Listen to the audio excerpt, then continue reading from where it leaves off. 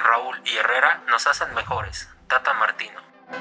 Por encima de cualquier miedo se impone el fuego de nuestra pasión. Por nuestras venas corre sangre caliente. Caliente.mx. Más acción, más diversión. Para los partidos contra Canadá, Honduras y El Salvador, la selección mexicana tuvo los regresos de Irving Lozano, Raúl Jiménez y Héctor Herrera, jugadores que a consideración de Gerardo Martino hace que se realce el nivel del tricolor cualquier equipo, cualquier selección es mejor cuando cuando están todos o la gran mayoría de los que el entrenador pretende convocar. Nos hace mejor. En este caso, la presencia de Chucky nos hace mejor, la de Raúl nos hace mejor, la de los dos Héctor, Moreno y Herrera nos hace mejor. Hablando indudablemente de los que este, no estuvieron en, la última fecha en la última fecha FIFA, en la primera de eliminatorias. Eh, para cualquier entrenador, siempre resolver el problema de la abundancia es mejor que resolver el problema de la escasez.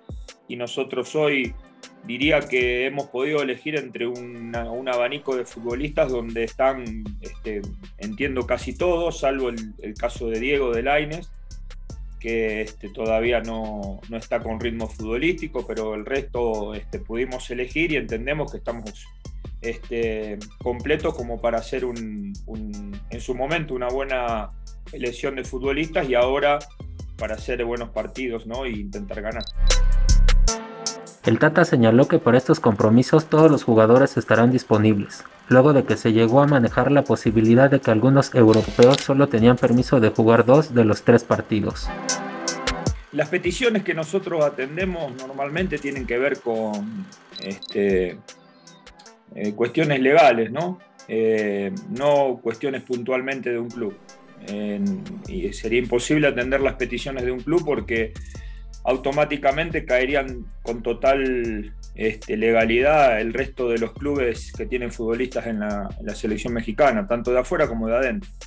Así que en eso tratamos de ser equitativos.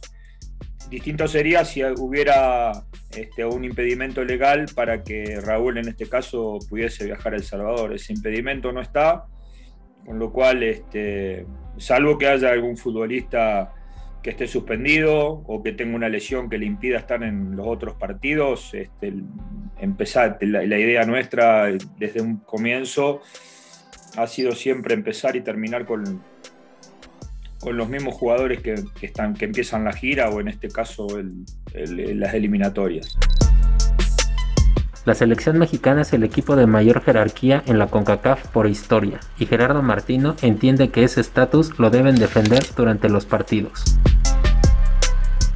Hay equipos, hay selecciones en Centroamérica que han evolucionado colectivamente, individualmente, y que tienen ciertas serias aspiraciones de acceder, a un lugar a, la próxima Copa del Mundo.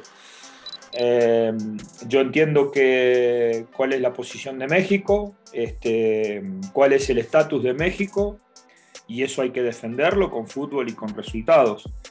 Y más allá de los rivales y de las aspiraciones que los rivales este, que nos enfrentan tienen, nosotros tenemos que hacer valer este, nuestra posición y nuestros deseos y fundamentarlos no solamente con resultados, sino también con juego.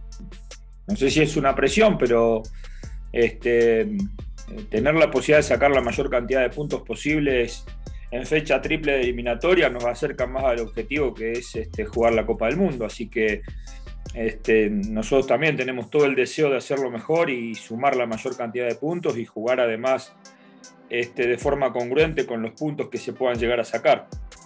Eh, así que este, sí, tenemos, tenemos esas expectativas, ¿no? pero creo que también la tienen el resto de las elecciones.